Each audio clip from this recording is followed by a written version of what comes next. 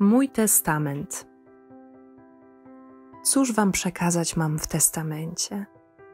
Najdroższe moje, najmilsze dziadki, żeby wam w każdym życia momencie był drogowskazem testament matki.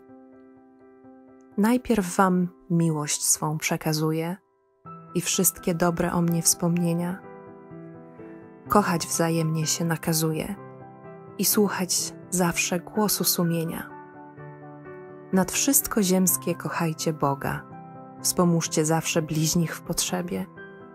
To najpewniejsza, jedyna droga, która się kończy nagrodą w niebie. Córeczki moje, najdroższe obie, Januszka dobrze nam wychowajcie. Gdy z woli Boga mamusia w grobie, wy go kształtujcie, uczcie, kochajcie.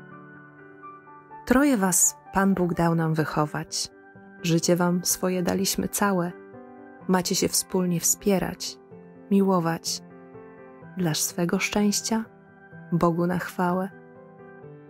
I jeszcze skarb wam oddaję cały, jakiego w życiu już nie znajdziecie.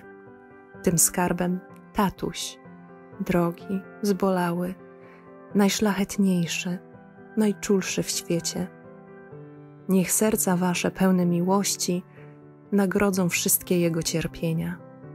Niech opromienią chwile starości same radosne, błogie wspomnienia. Tak szybko życia płyną godziny, że jak najpiękniej przeżycie trzeba. Dziś błogosławię wasze rodziny.